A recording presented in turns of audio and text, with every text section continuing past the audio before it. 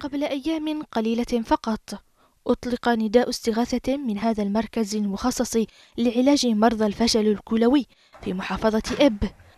لخلوه التام من الأدوية. فشل كبير كان يعاني منه المركز الوحيد في هذه المحافظة ولم يكن بمقدور المرضى الاستفادة من خدماته. الأسرة فارغة من المرضى رغم تواجدهم بالآلاف خارج المركز. والسبب يعود لانقطاع التيار الكهربائي وانعدام المشتقات النفطية. والأهم من هذا وذاك نفاذ كمية مواد ومحاليل الغسيل الكلوي وعدم توفرها في السوق المحلية.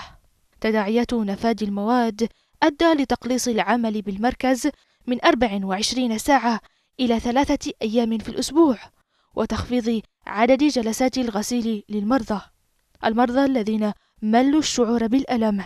لم يعودوا يخشون الموت فهم لا يعانون من المرض بقدر معاناتهم من العلاج كما يقولون. لنا سنين نغسل ما معنا لا بياس وحنا فقراء. أمراض نغسل مرتين. من لنا؟ اشتروك هذا ب 15000 دحين ما نجي ديلين. تصدقوا تدنا بياس ولا تدنا إحنا نموت من هذا الازدحام يأتي بعد أيام من نداء الاستغاثة وذلك لاستجابة بعض فاعلي الخير وتبرعهم بالأدوية اللازمة لإعادة افتتاح المركز وتكفل العديد من المرضى شراء أدويتهم رغم الظروف الاقتصادية الصعبة التي يمرون بها. بعد أن كان المركز يقدم خدماته المتمثلة بالمعاينة والفحوصات وجلسات الغسيل الكلوي بالمجان.